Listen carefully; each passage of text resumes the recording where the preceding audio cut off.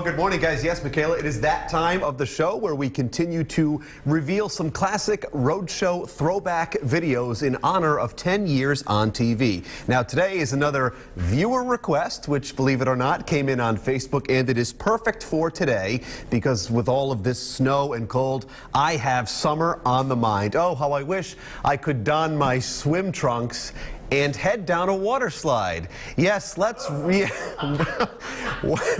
wait for it.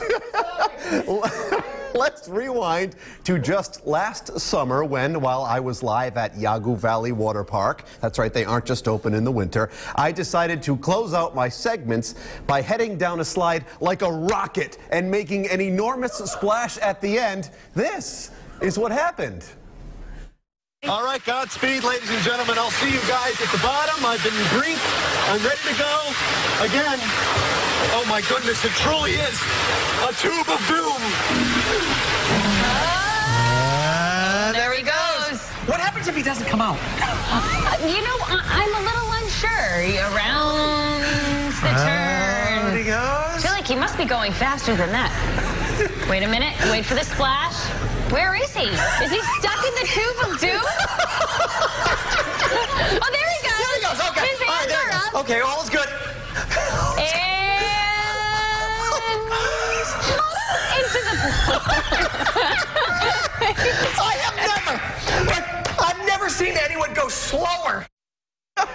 No, I don't think you have. I, I can't even look. I'm just hoping it's over. A reminder that you guys can share, okay, enough, uh, your favorite memories with us on social media using the hashtag RhodeShow10. And we will be doing this for about another month, right up until April 4th, all culminating with our big primetime special. Now, I know, guys, it's a favorite of yours. I probably Oh, shouldn't have gosh. worn my. I'm my- actually crying. All right. I shouldn't have worn my Nairobi t-shirt in the water slide.